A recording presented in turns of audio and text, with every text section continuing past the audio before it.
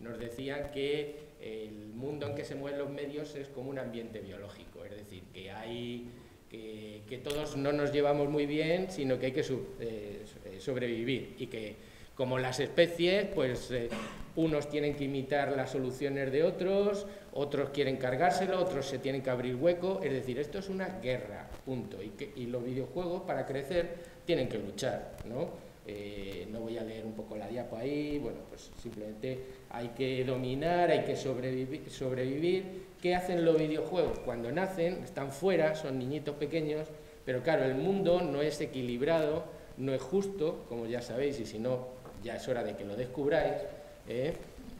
pues se encuentra con una pirámide. Las cosas están organizadas por jerarquías y dominación, y todos los medios pues tienen pues prestigio, van subiendo en la escala de prestigio, otros bajan, otros están olvidados, es decir, el mundo es un caos muy desordenado y con muchas tensiones, y, dices, y, en los videojuegos dicen, eh, ¿qué hago yo? ¿Qué hago yo para sobrevivir en esta pirámide donde está claro que arriba están los medios que se han ido ganando prestigio? Ojo, nacieron también espurios, como ya sabéis, ¿eh?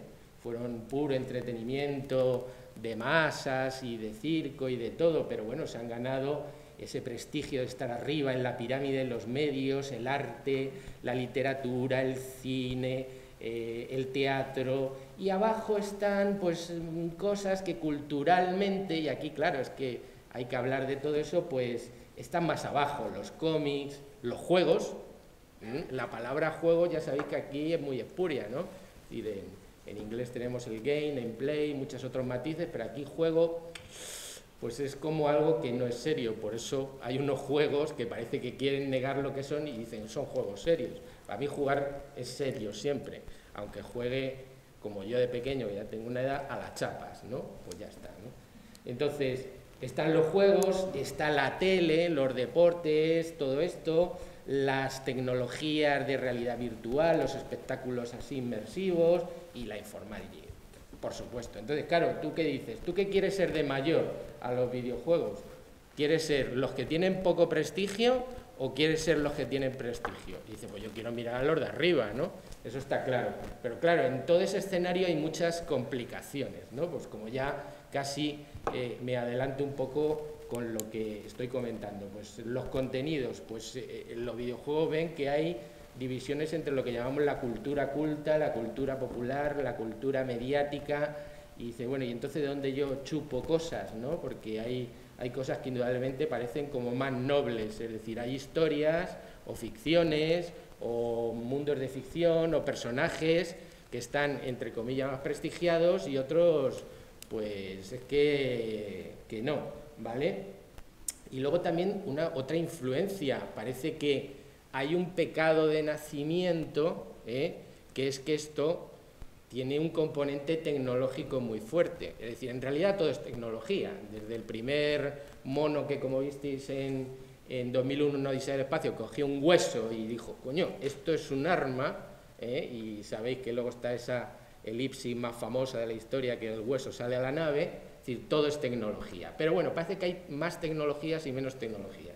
Entonces esto es como un pecado natural de nacimiento. Esto llevas el pecado, y aquí cristológico, tú tienes un pecado, que es que eres tecnológico. Y eso no mola mucho desde el punto de vista de prestigio, ¿eh? porque lo que mola es la artesanía, la exclusividad, lo que, bueno, pues parece que como tú escribes un libro y tal, pues eso mola más que si tienes que programar, entonces, porque eso no es artístico y además si es individual y hay un autor y reconocido y tal, pues mejor, pero si eres anónimo, hay masificación, hay industrialismo, pues estás en la basura de la pirámide.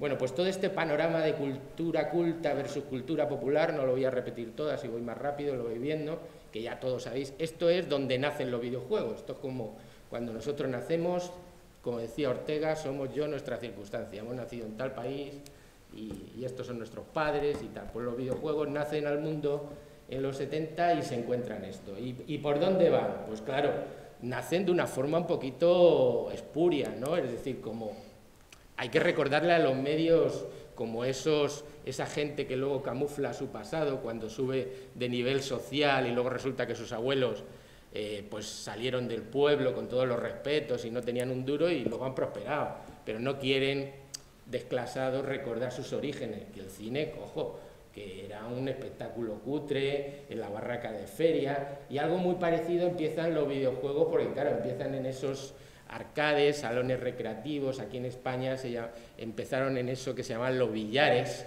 eh, ya desaparecidos, ¿no? donde la gente además eran sitios que los padres no veían muy bien, porque ahí, bueno, pues aparte de hacer pellas y tal, pues fumaba, tal, no sé qué, había siempre el que cuidaba los billares y te cambiaba y tal, pues a veces a algunos eh, pues le gustaban los chavales y les metía mano, todas esas cosas, ¿no?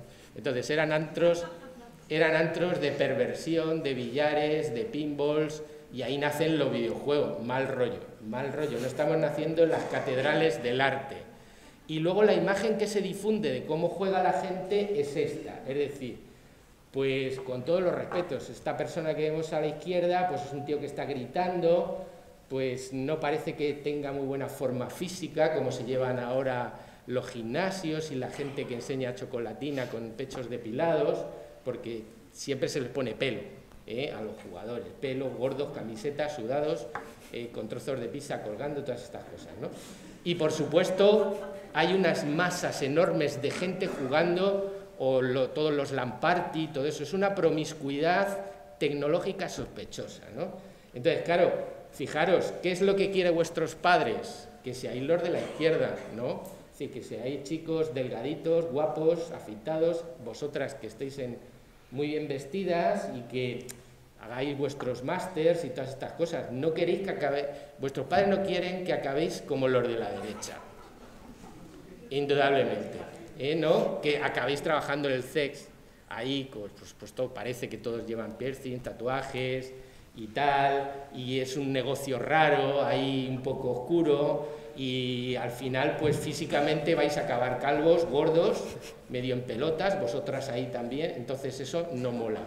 Entonces, ¿qué, hacen los videojuegos? Pues claro, pues dicen, mira, yo si quiero sobrevivir en, en esa pirámide de medios, si quiero tener un poco de reconocimiento, porque a nadie en el fondo, salvo algún marginal, a nadie le gusta ser marginado. Eso es la verdad.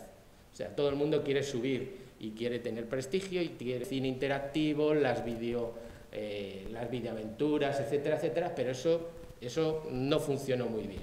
De repente la evolución tecnológica ya con consolas eh, de mayor capacidad hace que podamos entrar ya en el verdadero mundo 3D, tridimensional, y rompe el otro modelo. Y bueno, y luego ya tenemos lo que podríamos llamar ahora, de momento, porque todo esto a lo mejor puede cambiar dentro de 15 o 20 años, parece que se han reconciliado. Pero bueno, hacemos un pequeño repasito muy rápido, muy rápido, no os preocupéis. ¿eh? Está claro que esa, ese pecado de nacimiento, el pecado original católico que tienen los videojuegos de ser tecnológicos, ser arcades, luego hay que reconciliarse con eso, porque no, no hay que evitarlo, pues hace que en un principio, pues, ¿qué es lo que es más parecido? Los pinball, el pong, al final todos son maquinitas que jugamos en los bares, o en los billares aquí en España, pero que como historia, como mundo de ficción, para asemejarse al cine, pues era muy pobre, porque no podía dar para más, ¿eh? por los gráficos y por todo. Inclusive hay anécdotas como el Space Invaders, que en cierta forma, para imitar un poco ese mundo, pues ponían ahí pantallas, espejos, para que pudieran hacer gráficos mejores, o bueno, pues aquí aprovechamos a hacer un poquito de reivindicación de Bauer y tal, y con su con la Odyssey de las primeras consolas caseras, que como el pobre, fijaros, es que ahora esto nos da risa, no sé si nos da risa, nostalgia o ganas de llorar, como el pobre no podía meter historias ahí, mundos de ficción, un poco en, lo mismo que acabamos de ver con Punk, y superponer capas de diversas historias, pero con la misma mecánica, pues en la caja venían celofanes que tú ponías en la tele, y, y así podía hacer pues, o sea, ya los esfuerzos para decir, venga, vamos a meter historias, ¿cómo podemos meter historias? Pero aún así, todavía todo esto era muy pobre, ¿no? Y, parece que te vendían más historia los carteles y lo que estaban pintado en las máquinas como en los pinball, que lo que se podía desarrollar los videojuegos. ¿no? Y el cine se iba, se iba acercando muchísimo desde el principio, se iba acercando muchísimo. Pues, eh, como hemos dicho, esta generación de directores ya ahora ya mayores por edad, pero que en su momento eran los jóvenes del nuevo Hollywood, Lucas, Coppola, eh, Steven Spielberg, desde el principio miraron los videojuegos. Chupó bastante el tema también de decir, bueno, vamos a utilizarlo como elemento de promoción, de marketing. Eh, pero bueno, empezaron los famosos escándalos, mm, todos sonados. Yo creo que no hace falta que cuente más qué pasó con ET y, lo malo que fue, las perspectivas que ocurrieron de expectativas, aquellas navidades de aquel año donde se vendieron muchos cartuchos y todo el mundo los devolvió, y luego se enterraron, y recordáis que hay un documental muy divertido de los que han empezado a desenterrar eh, y es verdad el mito de que están enterrados aquí en el desierto y tal, y resulta que los han encontrado. ¿eh? Si veis el documental, que es muy divertido, pues luego sacan algunos cartuchos y todavía se puede jugar con ellos y tal, ¿no? Están, están ahí. ¿Eh? Pero claro, entonces eso de repente hundió las cosas. Bueno, pues luego salió otro avance muy interesante que dice, coño, pues sí podemos hacer algo que parezca el cine, ¿eh? que es un invento tecnológico, el Laserdix. ¿eh? Ya sabéis que el Laserdix era el abuelo ahora de los Blu-rays que tenemos, muy grande, con un LP de estos viejos, pero que teníamos poquísimas cosas, poquísimo tamaño de almacenamiento de datos comparado con lo de ahora. Y entonces se les ocurrieron que en lugar de hacer un, juego en verdaderamente eh, con imagen, eh, vamos a llamarlo digital, generada al 100% en tiempo real, pues lo que vamos a hacer es dibujar un animador tradicional que dibuje películas con varias opciones, y que, bueno, pues en el fondo elegimos A o B y tal, pero como todo esto es muy rápido, la velocidad de acceso del LaserDic era inmediata, muy rápida, parece que estoy manejando diversas opciones y en el fondo todas las opciones estaban pregrabadas en cine, en dibujos animados tradicionales. Pero claro, las, imaginaros un chaval, y eso yo, yo este no, no, no lo pillé en algún momento determinado, y no lo recuerdo. Yo sí jugaba marcianos, obviamente, como se llamaban aquí, por, por edad, ¿no? Vamos a sacar viejunez, ¿no? pero yo recuerdo gente que me ha contado y dice, bueno, el primer día que yo llegué a unos billares y, vi el, el Dragon's Lair, dije, coño, esto es una película, ¿eh? Porque por primera vez veía unos gráficos, ahora lo llamaríamos gráfico, pero en aquella época lo decía, pero es que eso es como una peli, ¿por qué? Porque se, se mueven los personajes, se mueven todo y tal. un éxito fundamental. Parece que por fin el niño videojuego había encontrado el modelo a seguir para imitar a su papá de prestigio, al cine. Y se creó toda una industria de máquinas recreativas, luego también en, en, en consolas en casa, etcétera, etcétera, que abusaba de las eh, películas grabadas, porque ya no solo eran dibujos animados, sino también películas enteras, ¿no? donde en el fondo tú estabas jugando ahí interactivamente con todo eso. Muchos directores de cine, por ejemplo, empezaron haciendo pequeñas películas que luego se adaptaban. ¿Eh? Por ejemplo, Alex de la Iglesia hizo aquí muchos juegos para esto, ¿no? y, se crearon grandes compañías que os sonarán, ahora ya están en otros caminos, que hablaban de las videoaventuras y ya con actores, además hacían grandes producciones. ¿eh? Metían actores, todo era más o menos en croma, en el fondo era una aventura gráfica, solo que con eh, cortes de vídeo. ¿eh? Pues estos sonarán de la época más dorada, donde comprabas, todavía no teníamos DVD, teníamos CD-ROM, entonces, pues había que meter montones de CD-ROM, había mucho vídeo grabado, mucho vídeo grabado. eran vídeos y pasa hacia un lado, pasa hacia el otro, montones de actores, es decir, parecía que había llegado por fin en la intente cordial el desarrollo los videojuegos van a ser este mundo de ficción con este sistema.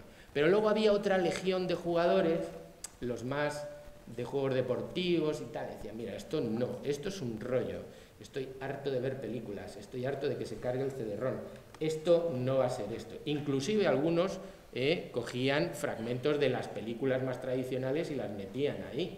Eh, entonces, eh, ¿qué pasó? Pues no, que el desarrollo tecnológico y gráfico rompió por completo todo, todo esto. porque empezaron ya los verdaderos mundos en 3D con la evolución de todas las consolas y dijeron, pues mira, el videojuego, ya esto de estar viendo cortes de películas y decir A o B, la jugabilidad era cutre, mala. Este no es el camino de imitar el cine. Un, un callejón sin salida. Ahí te has equivocado, chaval. No vas a ningún lado. Y yo no quiero un Scali o un Murder de película, sino me lo tienes que hacer en 3D para que yo mueva el muñeco por el escenario. Entonces ahí ya hemos el modelo de simulación en cierta forma empieza a imperar. ¿eh? Empezamos ya a tener una pequeña simbiosis de alguna otra forma. ¿no?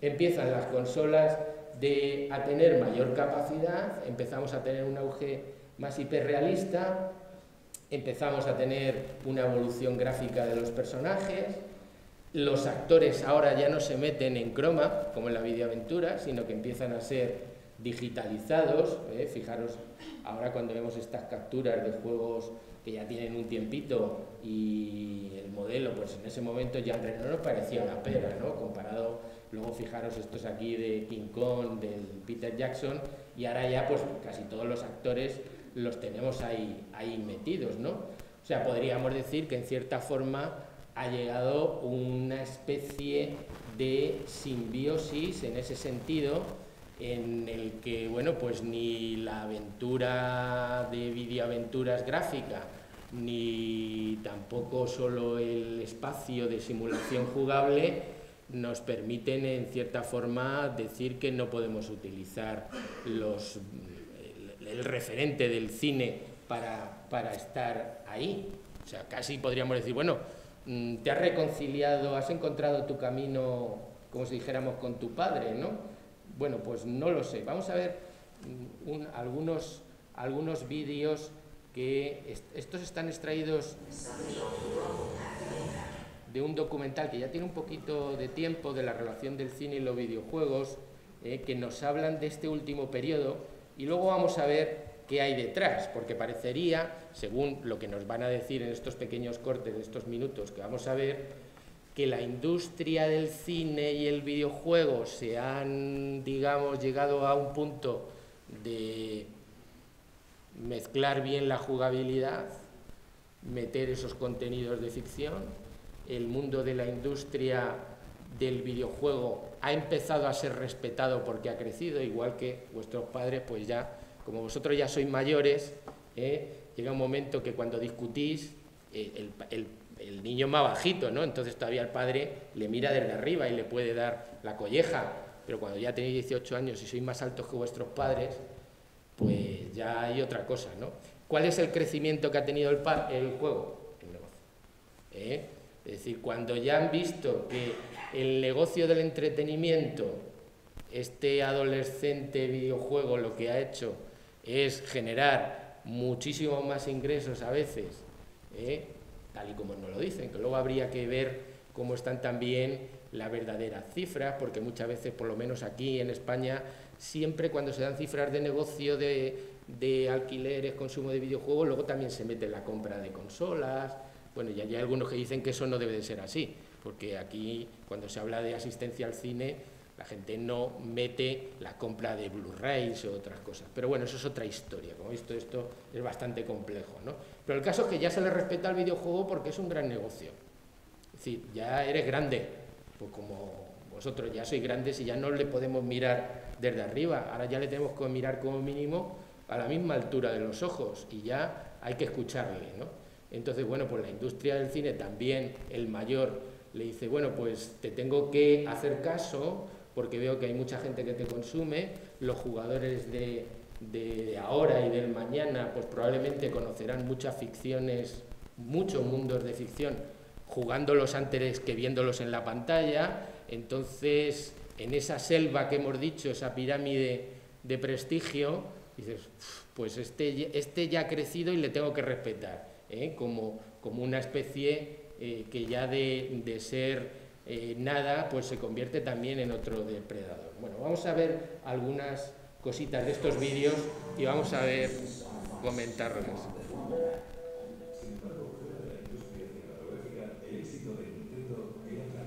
Bueno, este es el salto un poco, este primer vídeo corte que es muy cortito. En los 90, algunos de los nombres más importantes del mundo hacia la generación ya un poco de consolas tridimensionales, ¿no? Eh, la Play 1, etcétera, etcétera.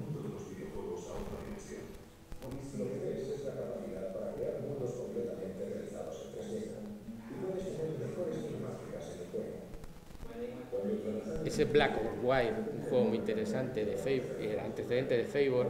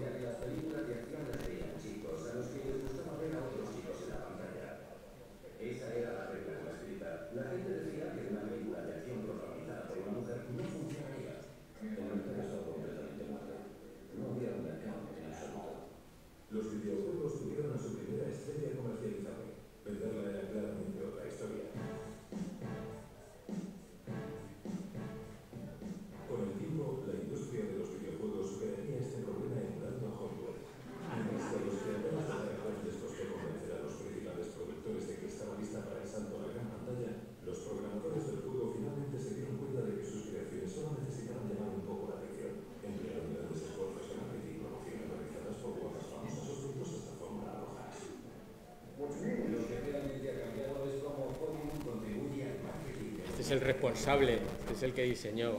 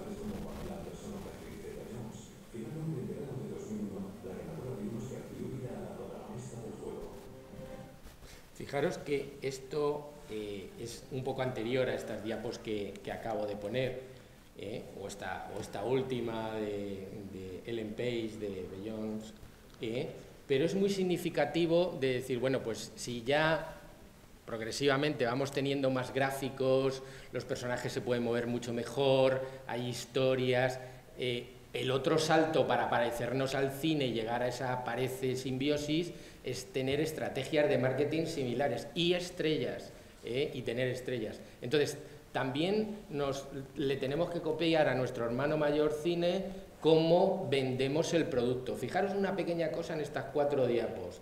Eh, mm, probablemente muchos de vosotros ya no lo habéis pillado, pero al principio los juegos se vendían en unas cajas de cartón muy grandes, ¿eh? nada por supuesto descargarlos por Steam y tal, y venían en disquetes eh, y, se vendían no en los departamentos de cine, entretenimiento al lado, sino que se vendían como informática, era software.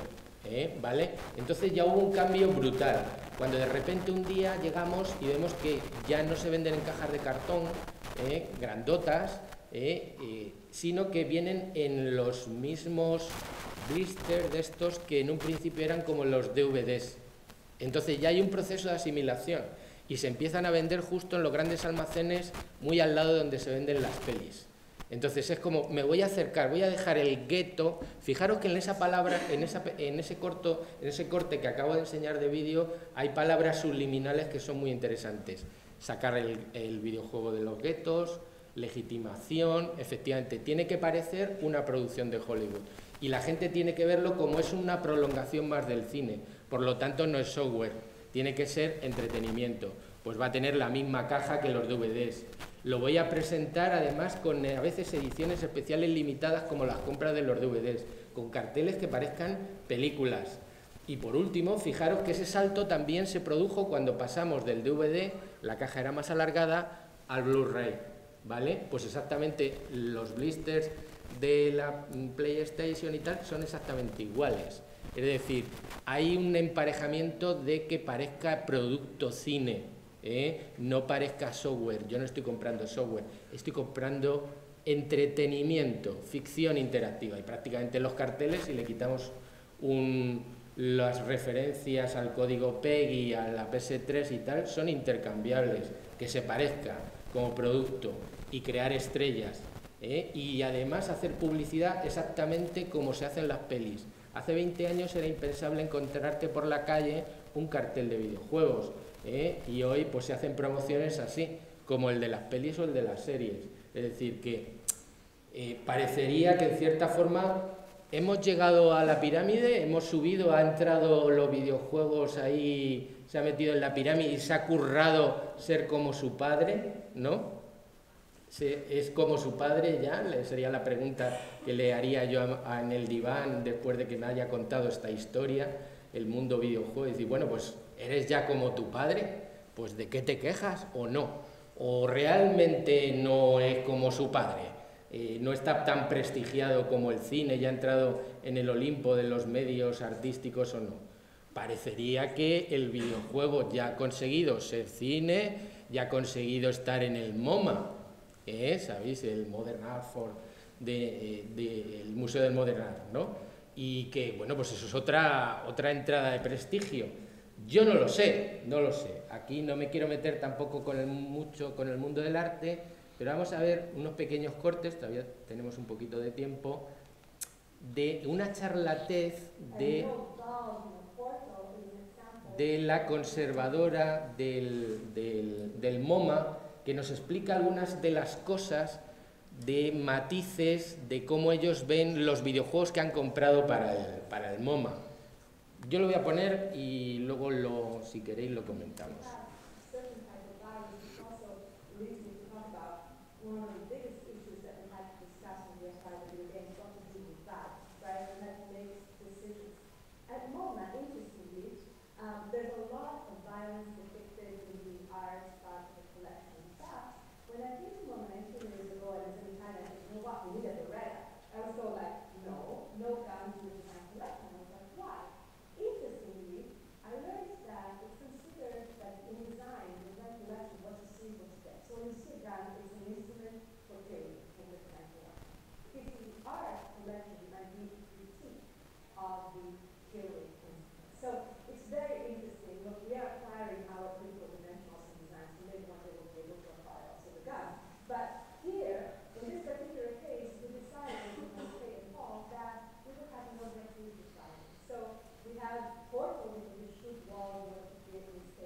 we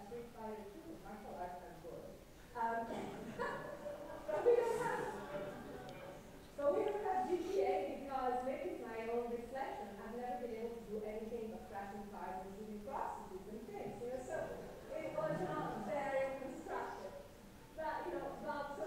bueno, como para no abusar más del tiempo, corto un poco aquí, enseño otro corte muy chiquitito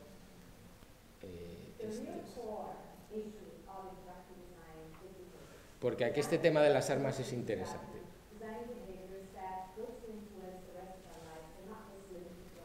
Este es un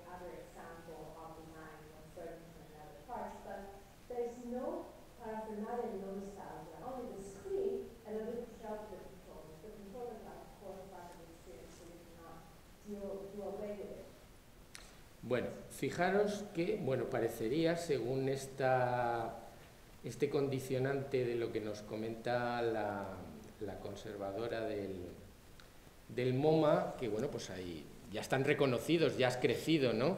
Ya has crecido. Pero fijaros que aquí hay una cierta perversión, hay una cierta perversión. Yo te acepto pero con condiciones. Es decir, son detalles, pero son muy significativos. ¿eh? Yo te acepto, pero no acepto tu naturaleza básica. Es decir, a mí ver este Pac-Man aquí y dice, no quiero cables, no quiero eh, nostalgia, quiero quitar la tecnología. En el fondo tú sigues despreciando la tecnología.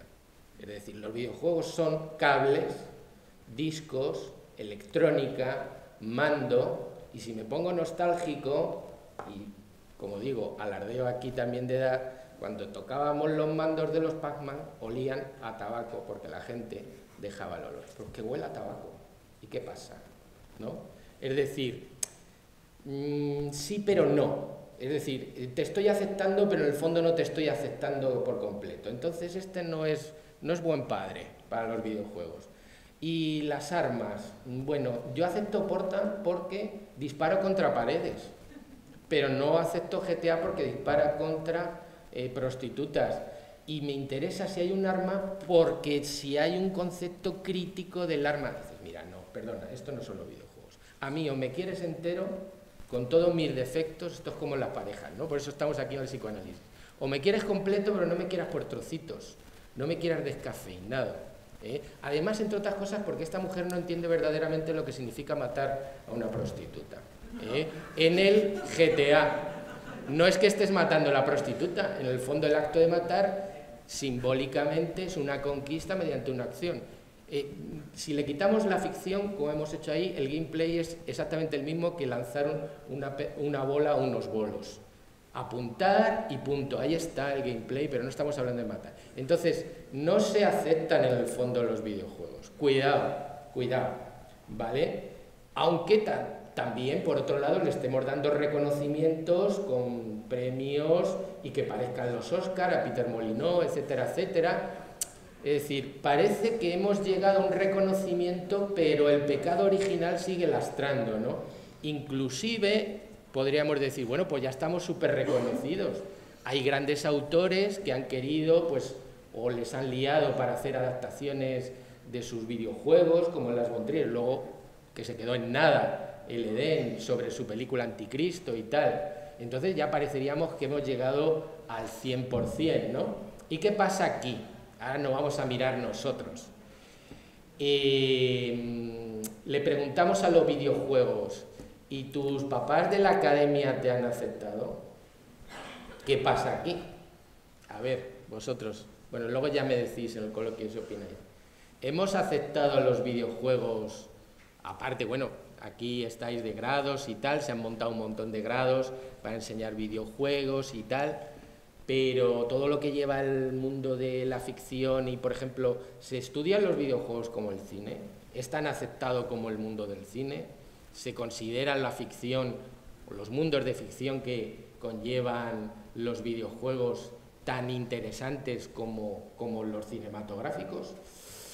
Eso que se ha llamado en llamar los Games Studies, los estudios sobre videojuegos, que durante un tiempo, como muchos de los que estudiáis videojuegos, y ya sabéis, desde el año 2000, con todas estas revistas, con todos los personajes que ya conocéis, eh, pues Frasca, Esther, todos estos, eh, pues empezaron a hablar de la narratología, la ludología, intentando encajar eso, como, como nos comentaba antes, lo embebido en lo, en lo emergente, es decir, vamos a intentar meter la narrativa con tornillo, la narrativa lineal, que es interactivo, que no es interactivo. ¿Lo hemos admitido? ¿No lo hemos admitido? Pues yo no lo sé. Yo creo que en el fondo parece que hemos llegado, hemos crecido, parece que convivimos con ese papá, ¿eh? como decíamos en ese psicoanálisis, pero hay temas de fondo que no están todavía tocados. ¿eh? Entonces todavía nuestra relación con nuestros padres medios, entre comillas, más adultos, el cine, el arte, eh, la literatura, mm, que no, que no, yo creo que no. Entonces voy a ir terminando esta charla pues proponiendo, como si fuera a mi paciente, que tiene que romper con su pasado. ¿Vale? Claro, esto como todo proceso psicoanalítico significa una doble aceptación, que es, tú aunque no lo quieras, vas a llevar parte de tus padres. Todos cuando crecemos, después de insultar a nuestros padres, de decirles después que son tontos, que no se enteran del mundo, que no entienden, no tienen ni puñetera idea de lo que está pasando ahora, ni de lo que le pasa a los jóvenes, eh, luego ya crecemos y de repente descubrimos que llevamos, queramos o no, por los genes, cosas de nuestros padres y de nuestras madres, y de los abuelos y tal, porque es así. Pero claro, a su vez también tenemos otro camino, también vamos a construir algo distinto. Ese es el doble juego. Pues exactamente igual que en la vida y en la biología, ¿eh? el, el videojuego no se va a deshacer del cine, ni industrialmente, como hemos visto, ¿eh? tecnológicamente, hemos visto que gráficamente ya va perfectamente en una equivalencia absoluta, al, cine, tiene que seguir, como, como, como decían, chupando de sus contenidos, pero a lo mejor exactamente no tiene por qué buscar siempre el referente del cine. Y yo creo que lo primero que hay que hacer es quitarnos esos complejos, y quitarnos los complejos es romper la pirámide. Es decir, que nos acerquemos a los otros medios que no podemos evitar, porque indudablemente tenemos que chupar de muchas cosas de ellos, tenemos que inspirarnos, pero no como simplemente por prestigio, sino por lo que realmente nos puedan ayudar. Y yo creo que una nueva etapa que podemos también, después de estar mirando también el tiempo al cine como referente de las historias, las narrativas y tal, aquí desde, desde la academia, no tanto de la industria, desde la universidad, de todos los sitios, es decir, bueno, pues vamos a quitarnos ya eso, vamos a dar al César lo que es del César, pero a lo mejor tenemos que buscar otras cosas. Y aquí cierro un poco con una cosa que simplemente esbozo, yo os digo que ya, eh, como ya os he dicho, yo escrito también cosas en las relaciones cine-videojuegos, pero estoy ahora abriendo otras líneas de quitarme cosas de la narrativa tradicional. Porque si nos damos cuenta, efectivamente, y antes también lo mencionaba Josué, jugar un juego es lo más antitético cuando hablaba de los ritmos, de los tiempos, a ver una película. O sea, es que parece que estamos... Eh, este videojuego parece una película y tal, pero es que es lo más distinto. Es lo más completamente antagónico. Tú te sientas, bueno, puedes estar en casa viéndolo en un DVD o, por, o en un archivo de vídeo, lo que sea, y se supone que tú vas a estar dos horas ahí pegado, pero los juegos se juegan de otra forma. ¿Por qué no queremos ver eso? Porque nos remite a otros de los medios que justamente estaban en la, abajo de la pirámide. Los videojuegos son serializados. Nosotros jugamos a momentos, jugamos por capítulos, los dejamos, los volvemos a coger, cogemos y jugamos un nivel. Se parece mucho más a los cómics repetitivos o a las series. Fijaros que hay algunos juegos que no disimulan perfectamente, quieren imitar perfectamente a, las series, hablando de temporada 1, temporada 2, episodio 1, episodio 2, o por ejemplo experimentos que no sabemos qué va a pasar con este, ¿eh? No sabemos si la mezcla con la serie va a ser unas cutscenes muy largas ¿eh? o va a inventar algo. Pero bueno, el caso que nos alientan a otra cosa. Y por supuesto, los juegos son juegos. ¿eh? Y enlazo perfectamente lo que, con lo que casi se, ante, se ha antepuesto a lo que decíamos del ritmo. Y los juegos, no olvidemos una cosa, para diseñar un buen juego tenemos que pensar qué pasa cuando el jugador se equivoca. Porque os recomiendo este libro, que me parece muy interesante, de Jesper Juhl, que es El arte del fracaso. Es decir, y vemos ahí como en ese dibujillo del saltador de longitud que, que se ha caído. Es decir, en los juegos tenemos que escenificar el fracaso. Eso, de, efectivamente, me han matado y vuelvo para atrás, o, como decíamos, me tiro tres horas a ver cómo resuelvo el puzzle final o a ver cómo lo mato al boss final. Y eso no ocurre en la película. Es decir, los ciclos de ritmo, es decir, el cine está pensado para una continuidad efectivamente hacia un clímax constante, pero aquí los ritmos son totalmente distintos. Si no pensamos en, diseñar eh, esos ciclos de fracaso, de ritmo, de ese gameplay basado en cómo yo supero los obstáculos, bien sean físicos, problemas eh, mentales del puzzle, etcétera, etcétera, estaré haciendo un mal guion, una mala película adaptada a una mala jugabilidad. ¿no?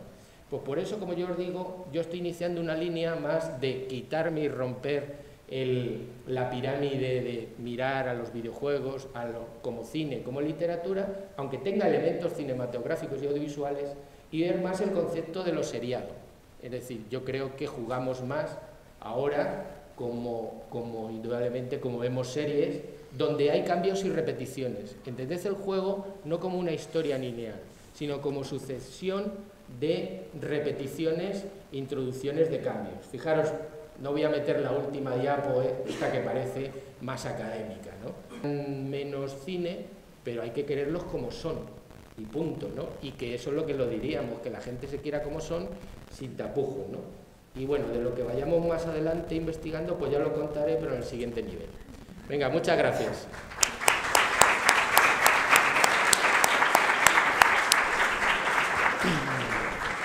Gracias, Alfonso. Bueno, estaba planteado ir teniendo pequeños coloquios después de cada intervención, porque hablar de videojuegos sin interacción es un poco extraño. Pero, mm, dado que hemos empezado tarde y vamos mal el programa, si alguien tiene la imperiosa necesidad de preguntar algo que lo diga o si